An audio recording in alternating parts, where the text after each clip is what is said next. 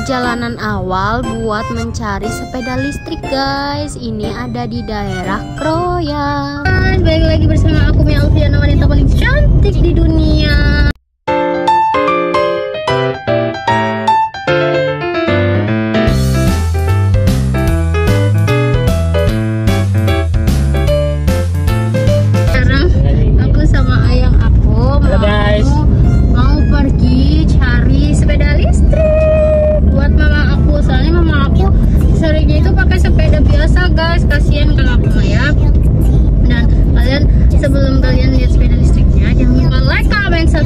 share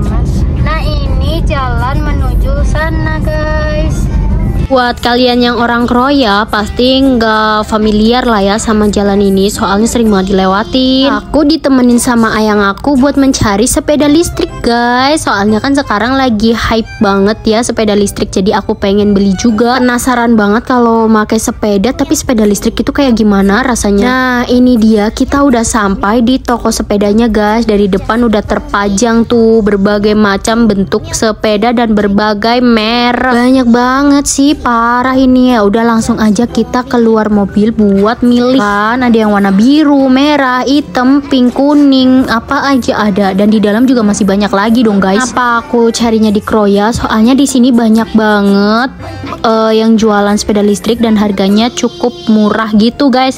Katanya sih soalnya kalau di daerah aku tuh lumayan mahal. Nah, kita lagi milih-milih dulu guys sepeda mana ya yang kira-kira cocok di kita gitu. Dan ini lagi diterangin sama kokonya atau penjualnya gitu. Soalnya Chinese gitu guys. Ini lagi diterangin gimana caranya, terus kelebihan dan kekurangan, terus cara pemakaiannya juga. Penjualnya ramah banget walaupun kita nggak nanya malah kita di itu loh apa ya kayak diajarin gitu, malah dikasih tahu yang bagus yang mana, yang gini gini gini gitu lah. Aku sengaja ngerekam soalnya pengen nge- mengabadikan aja gitu guys. Dan di sini tuh lucu-lucu banget pengen aku beli semua gitu. Tapi kan uangnya nggak cukup guys. Beneran serius ini kokonya itu ngajarin bener-bener ngajarin dong guys. Dia kayak kita nggak nanya dia ngasih tahu kalau cara pemakainya kayak gini nanti harus begini perawatannya begini gitu.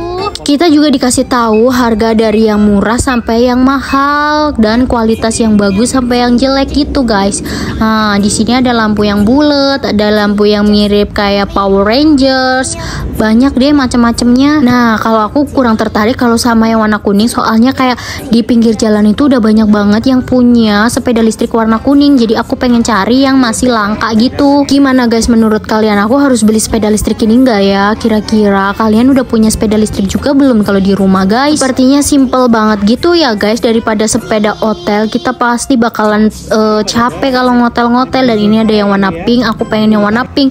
Cuman nggak ada yang mereknya yang mirip kayak aku suka. Akhirnya aku milih yang warna biru ini. Lucu nggak guys? Langsung aja diangkut sama bapaknya. Ini mau dirakit ya guys. Nah ini mau dirakit dulu sama bapak ini penjualnya. Pokoknya mau dipasang semuanya dari batu spion dan lain-lain. Jadi gitu guys. Gimana menurut kalian? Itu spionnya lagi dicopot lagi. Katanya kalau spionnya dipasang nggak masuk di mobil. Akhirnya dicopot lagi sama bapaknya supaya masuk. Tapi ini kok malah spionnya ada dua ya? Gimana? Tadi katanya suruh dilepas ini malah udah dipasang. Gimana dong? Dan sekarang ini lagi proses pemasangan eh, baterainya. Ini soalnya dicas ya guys. Dan baterainya segede itu dong guys. Gede-gede banget.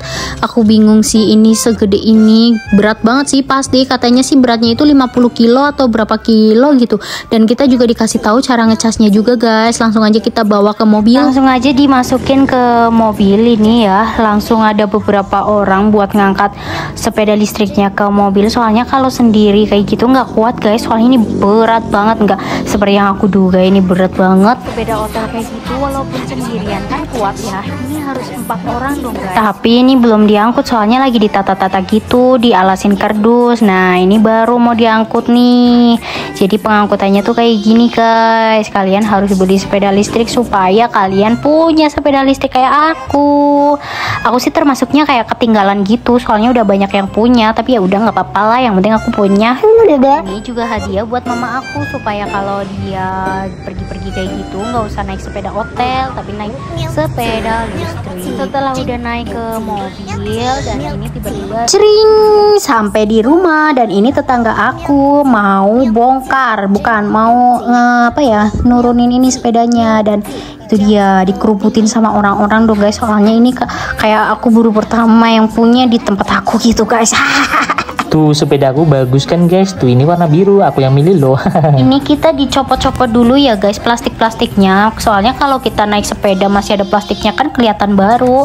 Dan itu yang aku mau nyobain katanya. Dia penasaran dia mau muterin lapangan gitu. Katanya asik dan seru guys naik sepeda listrik. Aduh jadi kepo juga. Aku ini rasanya gimana ya kalau naik sepeda listrik guys? Nah ayang aku mau ngebonceng si Ricul nih. Dia udah kepo banget pengen nyobain juga katanya. Dia muterin satu dan pas balik dia seneng banget. Dan si bocil ini malah kesirian. Ya udah guys sampai sini aja dulu.